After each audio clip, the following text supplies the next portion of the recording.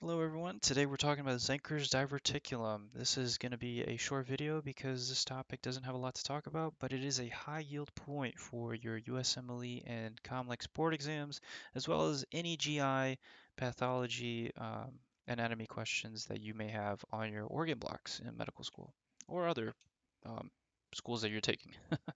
So Zenker's diverticulum, classically the etiology, you're going to see this arise at Killian's triangle, which is one of the weakest points of the esophagus. This is where the inferior pharyngeal constrictor muscles on this graph that you can actually see is very nice. It's going to have this uh, area that's kind of exposed, uh, exposed esophagus and it's going to be the thyropharyngeal and cricopharyngeal parts of the inferior pharyngeal constrictor. And that's what makes up Killian's triangle. And this blue dotted line is uh, basically kind of a graph that shows you where this uh, Zenker's diverticulum would kind of pouch out to. So it's going to kind of droop over the middle portions of the esophagus.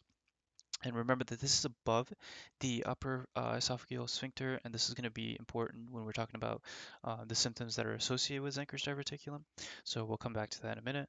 But remember that it is a false diverticulum, so it will only involve the mucosa and submucosa. Contrast this with a true diverticulum, such as Merkel diverticulum, um, uh, diverticulum. And so with this, that one, it is a true diverticulum because it's involving all layers of the GI tract. But while with Zenker's diverticulum, it's a false layer because it's only involving the upper two. Diagnosis of Zenker's diverticulum is usually going to be based on your patient history before you go into any kind of imaging. And so the patient will likely, so if you're having a vignette or you're working up a patient that you um, have any difficulty swallowing with, um, the patient will uh, complain about this gurgling in their throat. Uh, they will talk about maybe they're regurgitating foods or liquids. There will be aspiration where food is going down the wrong pipe, if you will, so it's going down the trachea instead.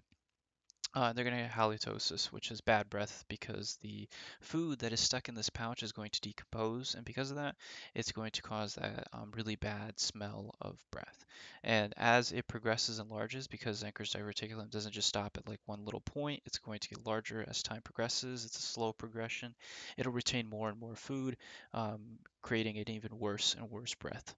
Um, and they may even say that, hey, doc, you know, I been brushing my teeth so much lately that I feel like they're so sparkly clean, but I always have bad breath. So this is another big sign of that.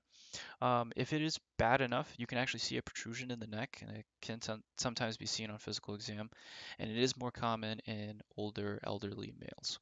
So if you have a high clinical suspicion, so you got a good history, establish a high clinical suspicion that this patient does have Zenker's diverticulum, you're going to want to do a barium contrast study. So they're going to swallow barium, and you're going to take a nice little image of their esophagus, and lo and behold, you can actually see there is a nice big pouch right there. And so this is a confirmatory test for Zenker's diverticulum. So the barium contrast study is the big one for this. And it's a good idea to actually do this before um, EGD because you don't want to risk uh, perforation if you're going down there with a scope and then you kind of come down into this area where there's a pouch and then you just kind of blow right into it because remember this is a uh, false diverticulum so it's going to be uh, just those two layers so it's going to kind of be easy to uh, perforate. And uh, that's about it, folks. There's uh, not much else to talk about with uh, Zenker's diverticulum. Like I said, uh, quick video, and I just wanted to throw this out there so that people know what to th- what to expect with this. So, as always, please don't forget to like, comment, subscribe if you like the video, and let me know down in the comments below what we should do next. Thanks, guys.